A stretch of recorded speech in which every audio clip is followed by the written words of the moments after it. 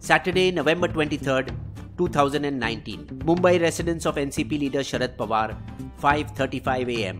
Pawar Sahib, get up. Ajit Dada has gone over to BJP. 5:30 a.m. Just 5 minutes earlier, BJP's Devendra Fadnavis and NCP's Ajit Pawar arrived at the governor's South Mumbai bungalow Raj Bhavan. 5:37 a.m. Precisely 2 minutes later, Governor of Maharashtra Bhagat Singh Koshyari officially declared President's rule in the state has been lifted. 7:50 a.m. Just a little over 2 hours later, right there at the governor's mansion, early on a Saturday morning, Fadnavis was sworn in as chief minister with Ajit Pawar as his deputy. Though the drama was all over in 140 minutes, the story picked up speed 14 days earlier. November 10th, a frustrated Fadnavis finally informs the governor. We cannot form the government. The Shiv Sena is free to form it if they want.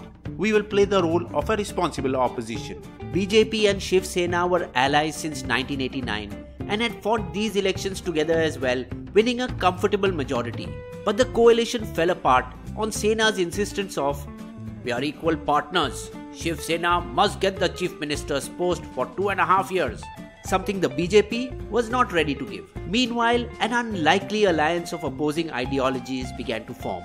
अनहोनी को होनी कर दे होनी को अनहोनी एक जगह जब जमा हो तीनों Amar Akbar अंधनी 60 year old Ajit Pawar, as senior NCP leader, attended all five crucial meetings of the alliance, including for distribution of posts, timelines, etc. But seemingly unknown to them all, including his own uncle Sharad Pawar, since the last 14 days from November 10th, he was secretly in touch with BJP's Fadnavis. Though the two leaders spoke several times a day, they never met, nor did they send emissaries to each other, because that would have alerted people. Only Ajit's closer sides, Dhananjay Munde and Sunil Tatkare were aware of it, while on Fadnavis' side, probably just one man knew Amit Shah. Wednesday, November 13th. Pawar Sr. seems to have misreading in between the lines of Amit Shah's statement to ANI. If I have kept quiet, it does not mean I am sitting idle and doing nothing. Fadnavas's dig at the senior Pawar during an election rally showed they had the junior Pawar in their sights from way before. बुरे काम का बुरा नतीजा क्यों भाई चाचा हाँ भतीजा Sunday, November 17th, the wily Sharad Sahib missed yet another warning signal when both Ajit and Tatkare tested the waters at an NCP internal meet. Why don't we support the BJP instead? A NCP BJP government will be more stable than this. Ajit was frustrated by Congress's stubbornness, like taking forever to decide on issues and their practice of dragging meetings on and on. How will the government run like this? Between 8 pm on Thursday, November 21st and 8 am the following day, the junior Pawar called up at least 12 of his trusted MLAs, asking them, If I took a big step, would you back me or Sahib? Friday, 22nd November. Finally, talks on seat sharing between the Sena, NCP, and Congress that was still going on concluded. The next Chief Minister of Maharashtra will be Uddhav Thackeray. For a full five years, Ajit got the ammunition he needed. He called his MLAs once again. We got just two seats less than Sena, but they will have CM's post for all five years. If you're with me, come to Munde's house tomorrow morning. Though Pawar Sahib is senior, Ajit is the one involved in day to day matters, solves problems, gets things done, and is the party whip, meaning instructs MLAs on the floor of the assembly. Already in possession of two letters bearing the signature of all 54 MLAs taken for other purposes, possibly to support the Sena government, he decided to use one of them, confident in his ability to bring the party around, and informed his new ally, who flew down a special envoy from Delhi that evening. 9:30 p.m. Friday, 21st November. Fadnavis submits a letter to the governor confirming support of 173 legislators. 12:30 a.m. Saturday, 22nd November. But Ajit sits on his letter till past midnight before submitting it to the governor.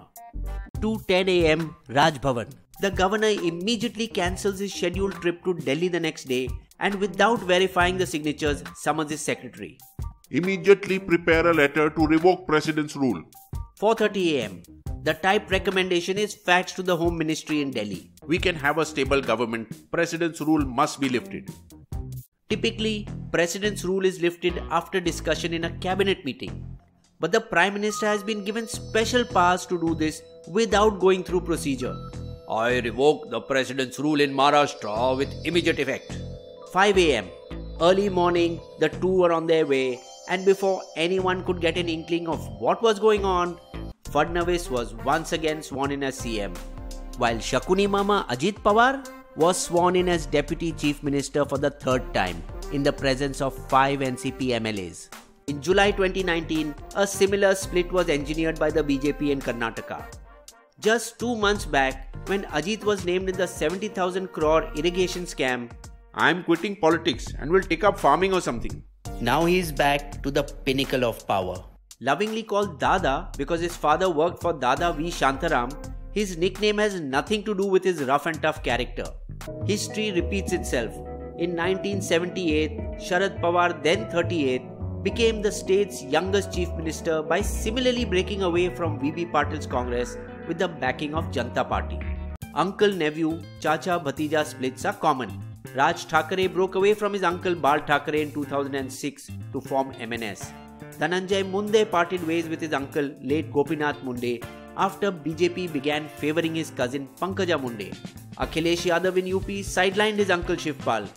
While the battles of the Badals in Punjab, Sukhbir Singh Badal versus Manpreet Singh Badal in the Akali Dal. But as Shah Rukh Khan says in Om Shanti Om, Picture abhi baki hai mere. The three sideline parties approached the Supreme Court late on Saturday night, rousing the senior judges to take up the matter on Sunday 24th. But even after Ajit swearing in as Deputy Chief Minister, seven of the main 11 rebels, unsure how events would unfold, turned up at the official NCP party meet that evening. We will do whatever party decides. Where Pawar Sr. fired his nephew from his party position. Ajit is removed as leader of the party in the legislature and as party whip. Though it is pertinent to note that no disciplinary action was taken against him. Immediately after Ajit Dada's early morning swearing in, four NCP MLAs were flown to Delhi on a private jet. According to whom, when they saw the news, they realized that NCP is not giving official support to the BJP. We will do whatever party decides. And desperately contacted party workers. Pawar Sahib, we have been forcibly kept at the Oberoi in Gurgaon. Rescue us. A rescue operation with over 100 NCP workers was launched under the leadership of the young 28 year old Sonia Duhan, who smartly, I need to book a room, please. The rescue group saw their opportunity when at 10:30 pm BJP workers guarding the room went on their dinner break. Her colleagues distracted the few remaining guards while Sonia sneaked out the three forcibly confined MLAs, helping them escape via a side lift of the hotel. All three were flown the same night to Mumbai via a 2:40 a.m. red-eye flight. Meanwhile, in Mumbai, Uddhav's PA Milind Narvekar found where another missing NCP MLA was being confined. Pawar Sahib, Sanjay Bansode is at Sahara Star. When Narvekar and Sena MLA Eknath Shinde reached the hotel, they saw BJP functionary Mohit Kamboj along with 40 police. Sena's trade union, Bharatiya Kamgar Sena BKS, has a strong hold in most five-star hotels. Seeing the Sainiks and fearing violence by hotel staff if they intervened, the police backed off as the duo took Bansode with them. All three parties then bussed their legislators in a convoy of six buses, gathering the combined 158 MLAs at the Grand Hyatt Santa Cruz. There, in a show of strength, Pawar Sahib threw down the gauntlet to the BJP. This is not Goa. We will not allow BJP to walk all over the constitution. Then, in a major salvage operation, over the next two days, every senior leader tried convincing Ajit Dada. Jayant Patil, Chhagan Bhujbal, Praful Patel, etc. They all said the same thing. Come, back, all, is, forgiven.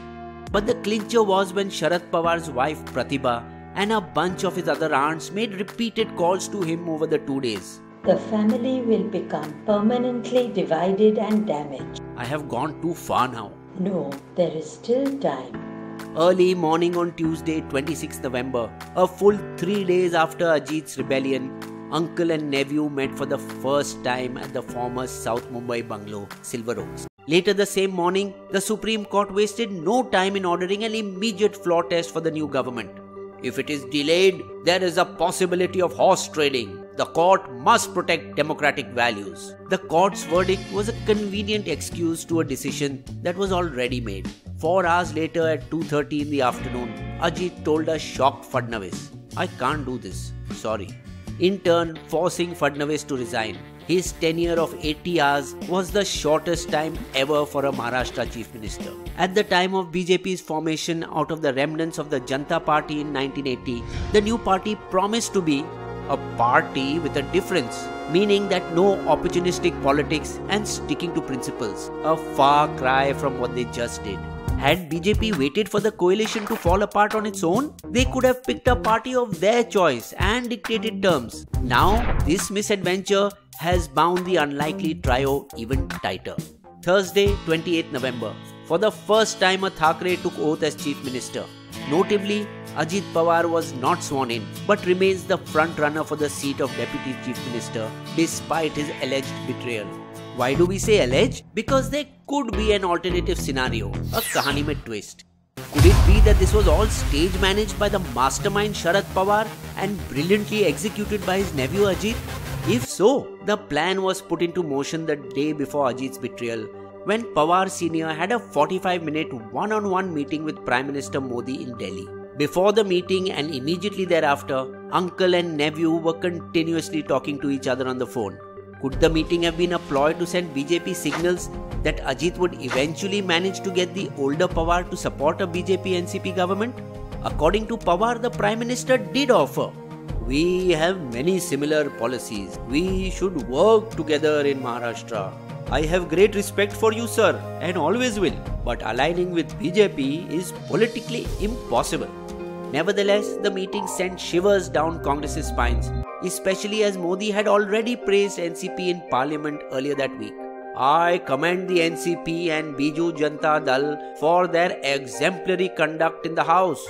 For walking out of the Sena NCP Congress coalition at this late stage, Ajit Dada could have asked for and got the moon. I'm risking everything for this. How will you take care of me? In the brief time Ajit Pawar was Deputy Chief Minister, the Enforcement Directorate made an announcement. Nine cases against Ajit Pawar in the 70,000 crore irrigation scam are being closed as no links to him have been found. Then the rest could have all been just drama, with only the Chacha Bhatija fully confident of the final outcome. Bisbo's Limerick. Maharashtra's elections realign political foes. Those that were once together, now anything goes. Ajit Dada's rebellion, quite a bit Machiavellian, proved the old adage that the emperor has no clothes. Subscribe to Bisbo's channel and be sure to click on the bell icon. Be the first to know when Bisbo releases a new video.